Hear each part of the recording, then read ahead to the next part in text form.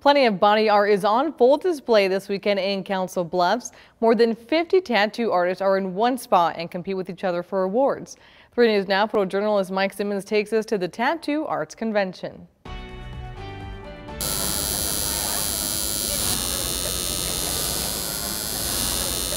This weekend, it's our third annual Council Bluffs Tattoo Arts Festival and Convention.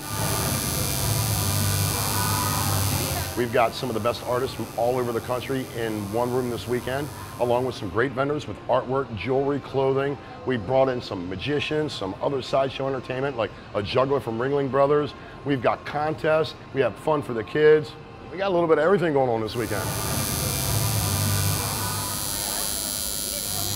Everyone's just so inviting. Uh, it's like a family here, you know. I travel with the convention, so it's it's a nice atmosphere, good people.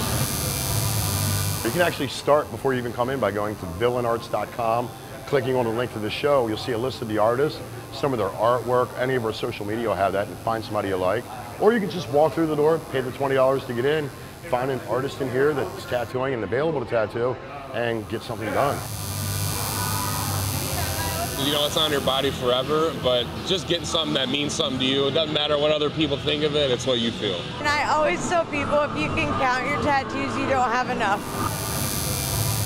They're always amazing and always busy, and everyone is so friendly.